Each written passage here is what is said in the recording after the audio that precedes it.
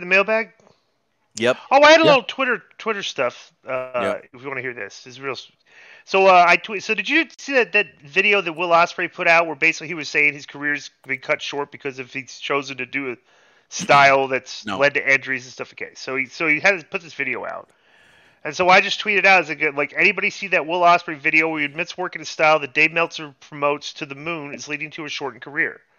And a bunch of course, you know, I actually got a lot of support for that tweet from, from some of my fans because they know I've, I've for God knows how long just promoted wrestling wrestler safety. You know, like why would you want? You know, I'm if if you could wrestle safer, why wouldn't you? And I think that's a, it's a problem with. And you look at Will Ospreay, who is like the highest rated guy on Dave Meltzer's star system, and he's talking about his career's got cut getting cut short. So it's obvious that you can open up a discussion to what is the give and take with you know, what you want to do with your career. Do you want to you do you want to because like you you could you you're getting paid the same. Like when you when you ask tell a promoter and you make a deal and and you have your price and he's paying it, okay? Regardless of whether you have a three star match or a five star match, you're still getting that amount of money for the match, right? And if you think that doing more high risk stuff gets you higher ratings in your matches, which it kind of does these days, you know, um, and it's going to lead to like you know injuries and stuff. You think you got to ask yourself, you know, is it worth it? And that's a very legitimate question to ask guys like this. But we'll, you know, pe- people, uh, I, t- typical response to my tweet, you know, but, but positive, negative. But Will, Ospreay responded. He said, "Please, please give me advice to become as household of a name as you, Glenn." Oh, And okay, I will give advice. Come up with a, with an entertaining gimmick, like I did. I wasn't the best wrestler in the world, but I'll tell you what, compared to 95% of the talent today, maybe more than that.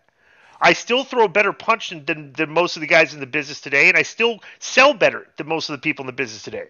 So, and those are two skills in professional wrestling that apparently are difficult to do because a lot of people these days don't do it, don't do it as well as I did. You know, so um, you know, just these guys like try to come up with some things that that you can entertain the crowd.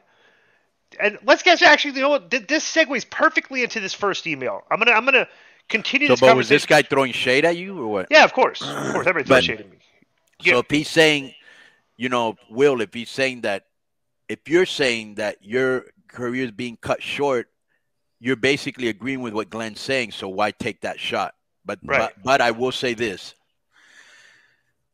when you're young and you have the ability to do what uh, Jeff Hardy would do when he was young, or you know, so many other people like that, you know, Sabu and people of, of that ilk, you know, Rey Mysterio and uh, Eddie Guerrero, and so you're gonna try to do as much as you can because you can do it and you're young.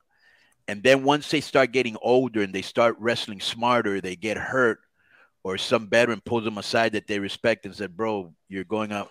Because when you're young, it's very hard to cage somebody's energy and youthfulness. And I just think at the end of the day, sometimes you sacrifice the, the present for the future. Because look at somebody Absolutely. like Ray, like so they'll they'll learn the style. You know what I'm saying? They'll learn to tone it down. So I always look at it as, you know, if you're smart, you'll learn down the road to turn that tone down your style and understand you don't need to do all that to get over. But at the beginning, you got to do something to get over because there's so much competition and nobody knows you. So that would be my response to Well, Plus, I think the- the perception is- is- Let me Go ahead. go ahead.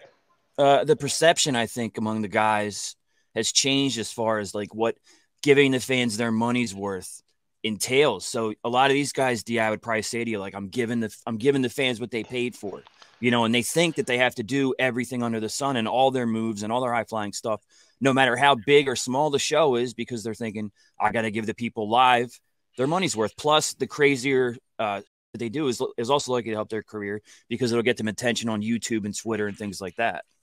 Well, let me make a p- p- perfect point here. Is bro, they've set the bar very high, and they can't sustain, and they cannot, they cannot reach the bar that they've set. They've set a standard of work and stuff. And it's like Kenny Omega's had surgeries. Will Ospreay's now had surgeries. Dude, when you set the bar that high and you're you're pro- providing a lot of risk to, to reach that bar, look at what happens. Lower the bar. There's no reason to, to do as much high risk stuff that you guys do because you're you're very talented workers, but you just think that you have to do some spectacular thing that, that requires real risk of injury, and like it, these the, the adds up. Right. And you're hurt, and like you know, just like dude. So and uh, so leads into the first mailbag question, which is a perfect segue from Marvin Zavaleta, and the subject is the mid card. Greetings, Di and Konnan. Just a quick question for both you guys. Why were the mid card wrestlers super over compared to modern day mid carders? Besides a few standout guys that I can think of, most mid carders today don't totally don't hold a candle to some of the guys from the 2000s and earlier on. I find myself being far more entertained rewatching old segments from WCW all through the card. Like no matter who wrestled, everyone was super over, bro. Because all of us had kind of like a gimmick. Alex Wright would come out there dancing and stuff. Everything. Kidman was in the flock and would be scratching himself all the time and everything because he was like on drugs and stuff. Everything. I come out there and I'm doing a disco dancer. Konnan's coming out there. He's got audience participation. His promo. Orale arriba, bro. Bro, we had charisma. We had character. You know, a lot of the mid card guys today just wrestle, and like we, like here I am today. I'm very healthy you know, I'm not. I'm, I didn't, bro. I could still go wrestle right now. I'm in great shape and everything. My shoulder's a little bit sore, but it's like I don't have, you know, like something where I said, I said, said I, you know, I, I'm risking my career. I just quit when I when I could still do it. You know, it's like these guys are having to quit because they're hurt. Uh, what do you think about this, Konnan? This uh, this this email uh, question. I don't know. I think in general, because obviously, you know, just just in general, uh, I think we were probably better prepared and had a lot of experience elsewhere because you know I had already come from Mexico doing 10 years uh, mm-hmm. in the Mexican circuit. You know Jericho, Eddie, Dean, Benoit, they'd all been to New uh, New Japan, Mexico, Canada. You know I was in Stampede with Benoit, so you know they just had. I think they had a lot more experience coming in than a lot of these indie guys that they pick up after two or three years. You know what I'm saying? Who mm-hmm. come in green and with a lot of bad habits. Yeah. And those guys, all that you mentioned, all wrestled worldwide, so they had experience in front of crowds in Mexico, Japan, Canada, and the states. Yeah, you're you just know? repeating what I just said. Yeah, pretty much. Right. here's the next. Here's the next one, Joe. You got the screenshot ready in this next question about the yes, AI and wrestling. Okay, I'm late cool. with this, but um, yeah. So bleak last subject.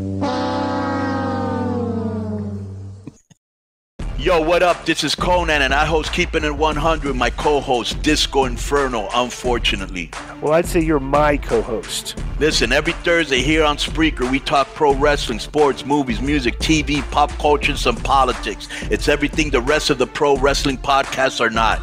Tune in to hear myself, the superior one, educate and inform.